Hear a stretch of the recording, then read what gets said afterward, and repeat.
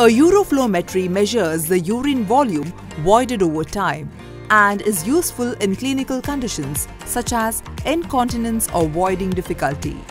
You must come with a reasonably full bladder before the procedure.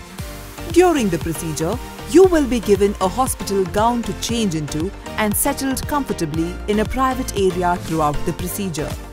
The doctor and the nurse give you instructions and leave the room after which you may void urine into a special commode that measures the amount and rate of urine flow.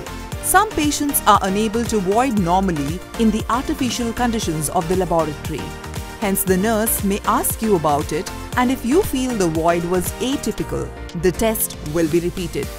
The procedure takes about 5 to 10 minutes and the report will be issued within 20 minutes post-procedure.